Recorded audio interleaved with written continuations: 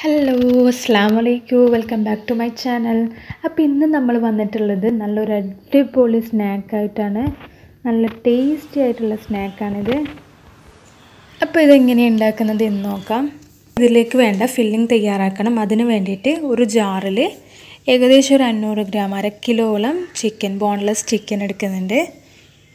പിന്നെ അതിലേക്ക് ഒരു നാല് സ്ലൈസ് ബ്രെഡ് പൊടിച്ചിട്ട് ചേർത്ത് കൊടുക്കുന്നുണ്ട്. പൊടിക്കാതെയാണെങ്കിൽ ആദ്യം തന്നെ പൊടിച്ചിട്ട് പിന്നെ ചിക്കൻ ഇട്ട് കൊടുത്ത് മതി. ഞാൻ അതിലേക്ക് ഏകദേശം ഒന്നര ടീസ്പൂണോളം സോയ സോസ് കൂടി ചേർത്ത് കൊടുക്കുന്നുണ്ട്. ഒന്നര ടീസ്പൂൺ ഇഞ്ചി വെളുത്തുള്ളി പേസ്റ്റ് അതുകൂടി ചേർത്ത് കൊടുക്കുക. ഒരു ടീസ്പൂൺ മുളക് പൊടി. ആവശ്യത്തിനുള്ള ഉപ്പ്. ഇതിലേക്ക് ഏകദേശം ഒരു ഒന്നര ടീസ്പൂണോളം കുരുമുളക് പൊടി ചേർത്തിട്ട് നന്നായിട്ടൊന്ന് അരച്ചെടുക്കുക. അപ്പോൾ ഇതുപോലെയാണ് നമുക്ക് അരച്ചിട്ട് കിട്ടേണ്ടത്. ഇനി കൗണ്ടർ ടോപ്പിൽ കുറച്ച് ഓയിൽ തടവിയിട്ട് ഇതുപോലെ ഒന്ന് നന്നായിട്ടൊന്ന് മിക്സ് ചെയ്തെടുക്കുക. ഇനി ഇതുപോലെ ഒന്ന് പരത്തിയെടുക്കണം. ഏകദേശം ഒരു അത്യാവശ്യത്തിനുള്ളൊരു തിക്നെസ്സിൽ വെച്ചിട്ട് പരത്തിയെടുക്കുക. അതിനുശേഷം നിങ്ങൾക്ക് ഇഷ്ടപ്പെട്ട രീതിയിൽ ഒന്ന് കട്ട് ചെയ്തെടുക്കുക. ഞാനിപ്പോൾ ഒരു സ്ക്വയർ രീതിയിലാണ് കട്ട് ചെയ്തെടുക്കുന്നത്. അതിനൊരു ബൗളിലേക്ക് ഒരു മുട്ട പൊട്ടിച്ച് വയ്ക്കുക എന്നിട്ട് അതിലേക്ക് ഒരു ഒന്നര ടീസ്പൂണോളം പാൽ കൂടി ചേർക്കുക. ഒരു കാൽ ടീസ്പൂൺ കുരുമുളക് പൊടി കൂടി ചേർത്ത് നന്നായിട്ടൊന്ന് മിക്സ് ചെയ്ത് കൊടുക്കുക. ഇനി നമ്മൾ ആദ്യം തന്നെ ആക്കി വെച്ചിട്ടുള്ള ചിക്കന് ഈ ഒരു മിക്സിലേക്കൊന്ന് ഡിപ്പ് ചെയ്ത് കൊടുക്കുക. അതിനുശേഷം ഇതൊന്ന് ബ്രെഡ് ക്രംസ് വെച്ചൊന്ന് കവർ ചെയ്ത് കൊടുക്കണം.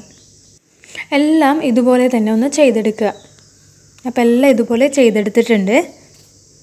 ആൻഡ് ഇതൊന്ന് ഫ്രീസറിൽ വെച്ച് കൊടുക്കാം ഇപ്പം നമ്മളുടെ മാവ് നന്നായിട്ട് തന്നെ പൊന്തി വന്നിട്ടുണ്ട്. ഇനി അത് ഇതുപോലെയുള്ള ചെറിയ ഉരു ഉരുളയാക്കിയിട്ട് മാറ്റി കൊടുക്കുക എന്നിട്ട് ഇതുപോലെ ഈ ഒരു ഷേപ്പിൽ വേണം നമുക്ക് പരത്തി കൊടുക്കാൻ വേണ്ടിയിട്ട്. പിന്നെ ഒരു പാൻ വെച്ച് ഇതൊന്ന് ചുട്ടെടുക്കണം. നമുക്ക് ആദ്യം തന്നെ ഉണ്ടാക്കി വെച്ചിട്ടുള്ള ചിക്കനൊക്കെ ഒന്ന് ഫ്രൈ ചെയ്തെടുക്കണം. അപ്പോൾ നല്ല ചൂടായ എണ്ണയിൽ ഇതുപോലെ ഒന്ന് ഇട്ട് കൊടുക്കുക. അതിനുശേഷം ഫ്ലെയിം ഒന്ന് ലോ ചെയ്ത് കൊടുക്കുക. ഒരു ഭാഗം ഏകദേശം നന്നായിട്ട് തന്നെ ഫ്രൈ ആയിട്ട് വന്നാൽ അതൊന്ന് തിരിച്ചിട്ട് കൊടുത്തിട്ട് മറ്റേ ഭാഗം കൂടി നന്നായിട്ടൊന്ന് ഫ്രൈ ചെയ്തെടുക്കുക. ഈ ഒരു ടൈമൊക്കെ ഫ്ലെയിം നന്നായിട്ട് തന്നെ കുറച്ച് വെച്ചിട്ട് വേണം ചെയ്തെടുക്കാൻ വേണ്ടിയിട്ട്. അല്ലെങ്കിൽ ഉള്ളു വേവാതെ കിട്ടും. അപ്പോൾ ഇത് നന്നായിട്ട് തന്നെ ഒന്ന് ഫ്രൈ ചെയ്തെടുത്തിട്ടുണ്ട്. ഇനി അത് പാത്രത്തിലേക്ക് മാറ്റി വെക്കാം.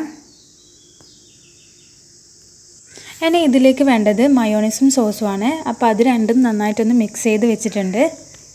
ഇനി നമുക്ക് കുബൂസ് ഫില്ല് ചെയ്ത് വെക്കാം. ആദ്യം തന്നെ ഈ ഒരു മയോണൈസും കെച്ചപ്പ് ഫില്ലിങ് ഇതിന്റെ മുകളിലായിട്ട് സ്പ്രെഡ് ചെയ്ത് കൊടുക്കുക. അതിനുശേഷം ഇതിന്റെ മുകളിലായിട്ട് നമ്മൾ ആക്കി വെച്ചിട്ടുള്ള നഗറ്റ്സ് കൂടി വെച്ച് കൊടുക്കുക. ഇനി ഇതിലേക്ക് വേണമെന്നുണ്ടെങ്കിൽ ഫ്രഞ്ച് ഫ്രൈസ് കൂടി വെച്ച് കൊടുക്കാവുന്നതാണ് അതൊക്കെ ഓപ്ഷണലാണ് നിങ്ങൾക്ക് വേണമെങ്കിൽ വെക്കാം. അപ്പോൾ ഈ ഒരു രീതിയിലാണ് നമ്മളുടെ കുബൂസൊക്കെ ഫില്ല് ചെയ്ത് വെക്കേണ്ടത്. അപ്പോൾ ഞാനിവിടെ എല്ലാം ഫില്ല് ചെയ്ത് വെച്ചിട്ടുണ്ട്. ഇനി ഇത് നമുക്കൊന്ന് ടോസ്റ്റ് ചെയ്യണം. അതിന് വേണ്ടിയിട്ട് ടോസ്റ്റർ ഒന്ന് ചൂടാക്കിയിട്ട് ഇതുപോലെ ഒന്ന് വെച്ച് കൊടുക്കുക അപ്പോൾ നമ്മുടെ ക്രിസ്പിയും ടേസ്റ്റിയും ആയിട്ടുള്ള അടിപൊളി സ്നാക്ക് ഇവിടെ റെഡി ആയിട്ടുണ്ട്. അപ്പോൾ എല്ലാവരും ഒന്ന് ട്രൈ ചെയ്ത് നോക്കണം. താങ്ക്